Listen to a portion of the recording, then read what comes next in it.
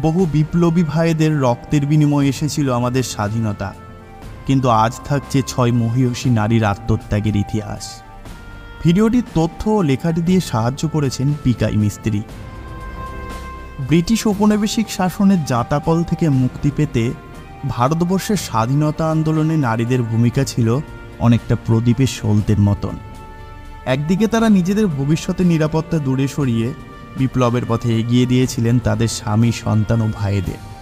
অন্যদিকে তারা কখনো ঘরের ভেতরে থেকে, কখনো বাইরে বেরিয়ে ব্রিটিশদের বিরুদ্ধে লড়াই করেছেন। ব্রিটিশদের বিরুদ্ধে নারীদের লড়াইয়ের কথা উঠলেই প্রথমেই সামনে চলে আসে প্রীতিলতা ওয়াদ্দেদারের নাম। চট্টগ্রামে মাস্টারদা সূর্য সেনের অন্যতম সহযোগী ছিলেন তিনি। মাস্টারদার নেতৃত্বে প্রীতিলতা ইউরোপীয় ক্লাবে আক্রমণ করেন, যেখানে স্পষ্টভাবে লেখা থাকত কুকুরও ভারতীয়দের প্রবেশ অধিকার নেই। এখানেই শেষ নয়। ধরা পড়ে প্রীতিলতা ব্রিটিশদের হাতে নির্যাতিত হওয়ার থেকে সাইনাইড খেয়ে নিজের প্রাণ ত্যাগ করা শ্রেয় বলে মনে করেছিলেন। কনকলতা বড়ুয়ার কথা অনেকে জানলেও তার নাম খুব একটা আলোচিত হয় না। ভারত ছাড়ো আন্দোলনের সময় এই নারী ব্রিটিশদের বিরুদ্ধে জিহাদ ঘোষণা করেন। তিনিই ভারতের প্রথম নারী শহীদ। বিভিন্ন ব্রিটিশ অফিসে ভারতের জাতীয় পতাকা তোলার উদ্দেশ্যে কনকলতা একটি ছোট দল নিয়ে রওনা হয়েছিলেন। কিন্তু এটাই ছিল তার শেষ যাত্রা।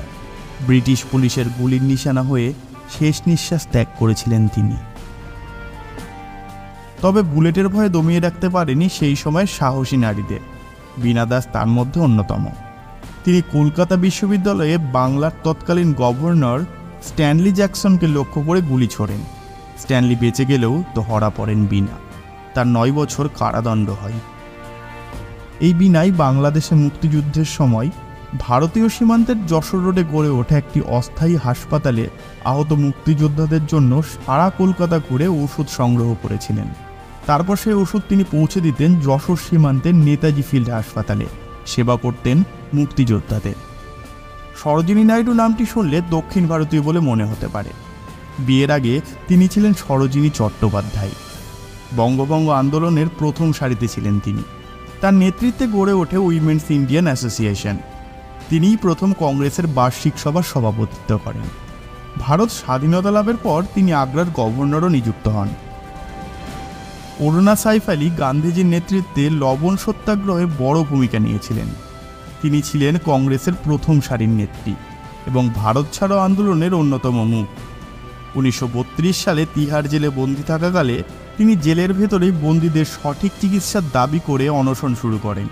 ব্রিটিশ সরকার বাধ্য হয় তার দাবি মেনে নিতে। মাতঙ্গিনী হাজরাকে ভারতের স্বাধীনতা আন্দোলনে নারীদের জীবনদানের প্রতীক মনে করা হয়। পশ্চিমবঙ্গের মেদিনীপুর জেলায় এই গ্রামীণ নারী মহাত্মা গান্ধীর আদর্শে অনুপ্রাণিত হয়ে অসহযোগ আন্দোলনে ঝাঁপিয়ে পড়েন।